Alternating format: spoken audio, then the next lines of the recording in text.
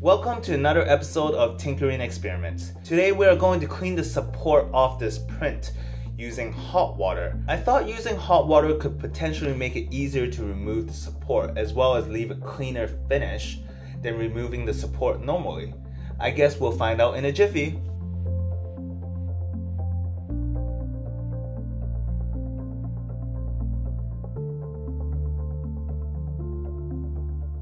We occasionally come across with models that need a lot of support for it to print, like this one.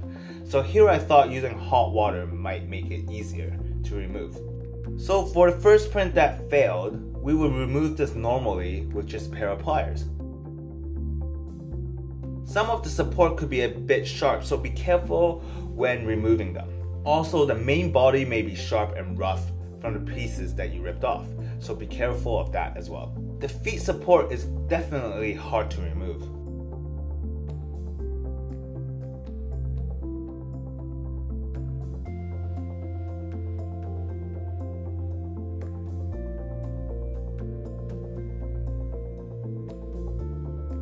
Now let's move over to the hot water method.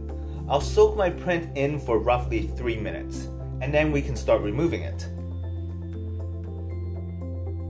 The support actually came out really soft and I can just tear it off with my hands. I don't even need a pair of pliers for this. And I must say, the hot water also warms up your hands as well. With this method, I don't have to be scared of the rough edges or the sharp pieces as they, they come off relatively easy. After all that, I still need to use a pair of pliers for some bits where my fat fingers aren't able to fit in to grab it off.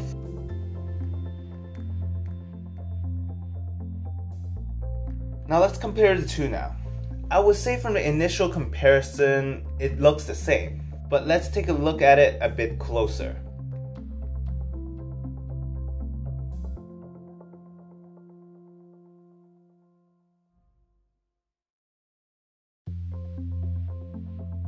Upon a closer inspection, it would seem like the nooks and crannies of the legs look a tad more clean with the one that we used hot water.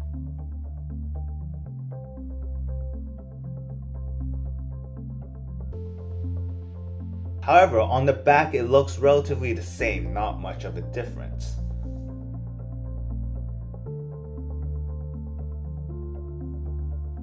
Now onto the last side. This side definitely shows that the nooks and cranny looks a lot more clean than the one that we didn't put in hot water.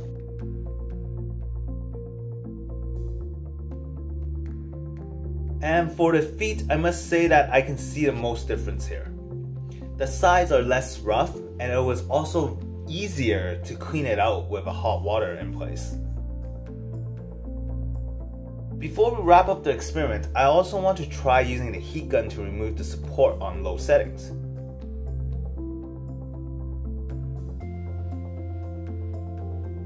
Never mind, it just melted the PLA and now it's even harder to remove.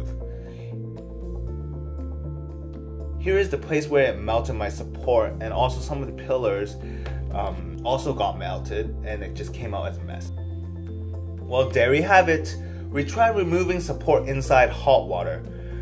And from what I experienced from this experiment, I would say it is a lot easier and some parts did come out a tad cleaner. You don't need to use pliers and you can just rip it off with your hands and you don't have to worry about the sharp edges as the plastic did soften up a bit. As for the heat gun, it doesn't look like it works. As for the heat gun, it doesn't look like it works or I can't gauge when is an appropriate time where it comes off relatively easy.